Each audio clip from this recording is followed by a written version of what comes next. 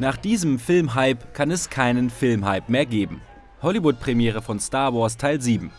Auf dem roten Teppich patrouillieren Stormtrooper. Es ist auch ein Veteranentreffen aus dem allerersten Star Wars-Film von 1977, inklusive der Roboter-Kultfiguren C3PO, R2D2 und Mark Hamill alias Luke Skywalker. Das ist, als wärst du im zweiten Jahr auf der Uni und würdest für einen Moment in deine alte Schule zurückkehren. Diese ganzen Erinnerungen kann man sich nicht vorstellen. Und es sind gute. Hamill und Harrison Ford im Film Han Solo sind auch in Das Erwachen der Macht wieder zu sehen, ebenso wie die über die Jahrzehnte ergraute und in Teil 7 zur Generalin aufgestiegene Prinzessin Leia alias Carrie Fisher. Ihre Rolle als weibliche Hauptdarstellerin hat Daisy Ridley übernommen, ihr Gegenpart der Brite John Boyega alias Finn. Er erschien auf dem roten Teppich mit einem schwarzen Handschuh.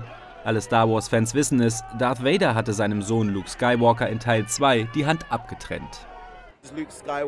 Ja, das ist eine Hommage an Luke Skywalker und daran, dass ich ein großer Fan des Films bin.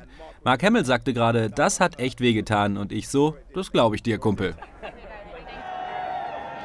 Für die etwa 3000 Premierenfans, von denen viele im angemessenen Outfit erschienen waren, ist nun auch das mit großem Tamtam -Tam gehütete Geheimnis um die genaue Handlung von Das Erwachen der Macht gelöst.